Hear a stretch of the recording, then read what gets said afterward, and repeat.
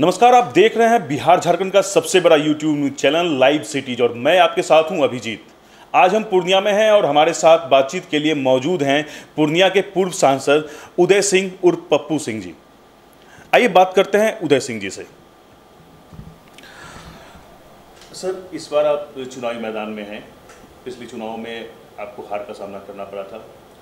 इस बार किस एजेंडे के साथ आप चुनावी मैदान में उतरे हैं? मेरे लिए एजेंडा बड़ा स्पष्ट और सरल होता है। मैं चुनाव तब लड़ता हूँ जब पूर्णिया की जनता चाहे कि मैं चुनाव लड़ूं। ये मेरा इतिहास रहा है। कई तो चुनाव ऐसे हुए हैं, उन्नीस सौ छियानवे में, अंठानवे में, कि मैंने चुनाव लड़ने से ही इनकार कर दिया है कि मुझे लगा कि आवश्यकता नहीं है। इस समय चुनावी मुद्दा जो है वो यह कि पूर्णिया के लोग निराश हैं। पूर्णिया के लोग, जो मैं नहीं चाहता कि वो ऐसा करें, लेकिन पूर्णिया के लोग एक तरह से अपनी गलती को मान रहे हैं, एहसास कर रहे हैं कि उन्होंने जो 2014 में फ़ैसला लिया था, वो गलत था और पूर्णिया का उससे नुकसान हुआ है। और इस कारण मैंने दो साल पहले ही तय कर लिया था कि मैं चुनाव लड़ूँगा, घोषणा भी कर दी थी। फिर जिस दल में मैं था, भारतीय जनता पार्टी, उसमें क्या हुआ, कैसे हुआ, वो लोग आप जानते हैं, सभी लोग। इस बार मैं आभारी हूँ महागठबंधन के नेताओं का खास करके लालू जी और राहुल जी का। कि उन्होंने आगे बढ़कर मुझसे कहा कि मैं चुनाव उनके तरफ़ से लड़ूं। और मुझे बहुत प्रसन्नता है और मैं कांग्रेस उम्मीदवार के तौर पे यहाँ महागठबंधन का उम्मीदवार बन के आया हूँ। यूँ समझ लें कि लोगों का उम्मीदवार बन के आया हूँ और लोगों का उम्मीद है कि परिवर्तन होगा यहाँ और फिर पूर्णिया जहाँ जैसे चल रही थी चलेगी। सर, भाजपा छोड़ने का क्या कारण था? भाजपा छोड़ने के बहुत सारे कारण थे। एक तो दो साल से, ढाई साल से मेरे जैसे बहुत सारे लोग असंतुष्ट हो रहे थे। कुछ प्रखर होकर बाहर निकला, कुछ अभी भी दबा हुआ है। भारतीय जनता पार्टी अपने मूल सिद्धांतों से हटकर, सबका साथ, सबका विकास के मंत्र को छोड़कर एक प्रचार तंत्र में परिवर्तित हो गई है। और ये शायद अमित शाह जी की यूएसपी है, खासियत है।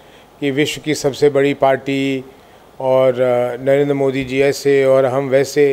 लेकिन यार वास्तव में देखा जाए तो ज़मीन पे कोई काम नहीं हुआ। तो एक तो मैं असंतुष्ट तब से चल रहा था और अपनी बात को उनके सामने उजागर कर भी रहा था। लेकिन ये तब मैंने फैसला किया पार्टी छोड़ने का, जब दल ने ये अपने आप को एक तरह से नीतीश जी के सामने आत्मसमर्पण कर दिया। और पार्टी को एक गांठ में बांधकर उनके पैरों तले रखा है। कोई औचित ही नहीं था कि सत्रह सीट नीतीश कुमार जी को ये छोड़ आते। ये तो पार्टी के साथ अन्याय किया उन्होंने।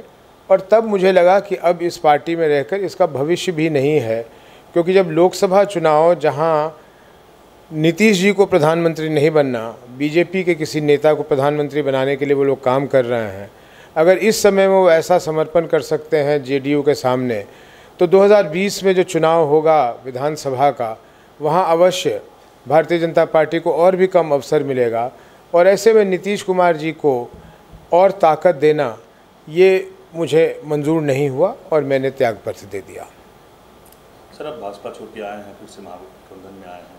क्या लगता है आपको कि इस बार के चुनाव में उसका फ़ायदा मिलेगा? जो भाजपा के कुछ कैडर वोट हैं, आपकी तरफ़ आकर्षित होंगे?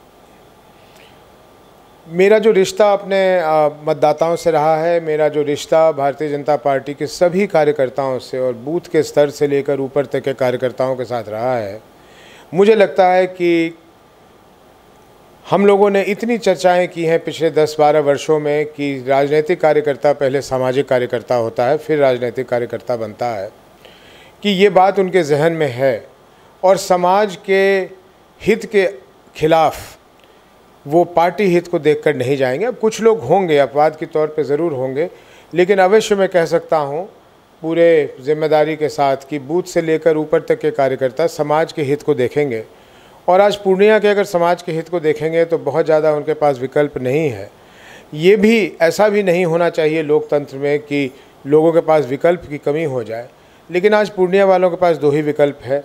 या तो वो विनाश करने वाले जो अभी वर्तमान सांसद हैं, उनके साथ जाया जाए या फिर जिन्होंने विकास किया या जो लोग मानते हैं कि विकास हुआ और यहाँ के सामाजिक वातावरण में सकारात्मक सुधार हुआ 2004 और 14 के बीच में, उसके साथ जाएँ तो मुझे लगता है कि लोगों ने मन बनाया है कि नहीं वो इस बार मेरे साथ जाएँगे।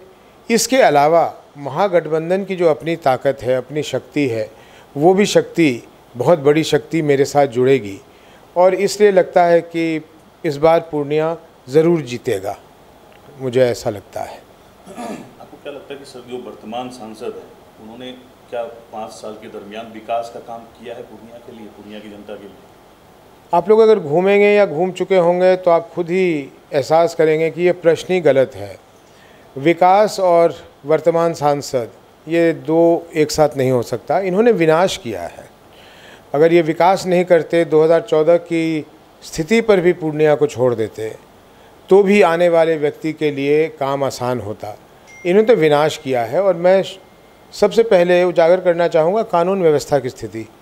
मेरे सांसद बनने के पूर्व 2004 में पूर्णिया की स्थिति बहुत ख़राब थी, गंभीर थी।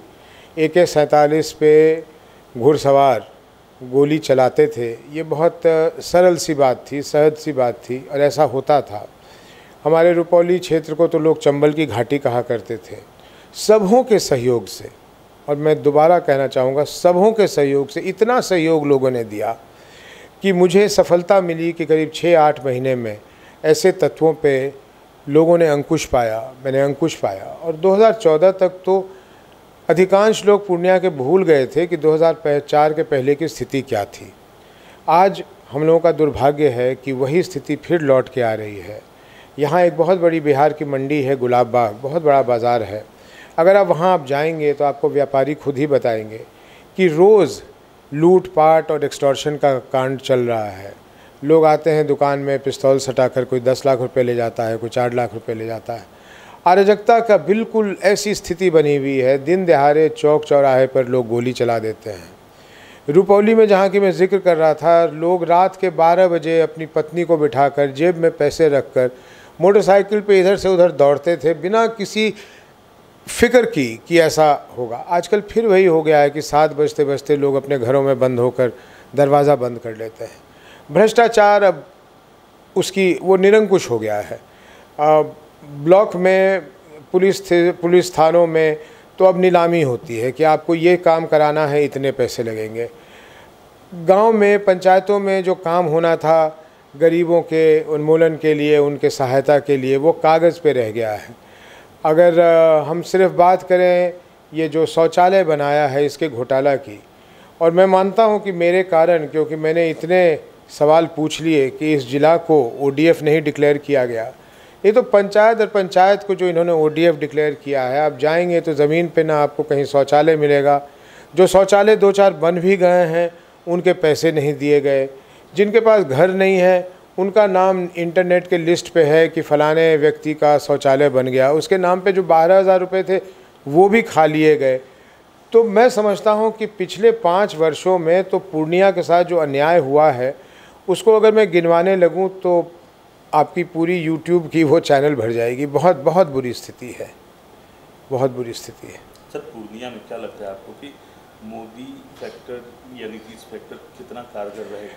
देखिए ना, यही तो यही तो हास्यपद बात है कि बीजेपी के प्रचार तंत्र चाहती है कि ये चुनाव उदय सिंह बनाम संतोष कुशवाहा न रहे, क्योंकि उनको मालूम है कि अगर ये उदय सिंह बनाम संतोष कुशवाहा हो गया तो संतोष कुशवाहा का ज़मानत भी नहीं बचेगा।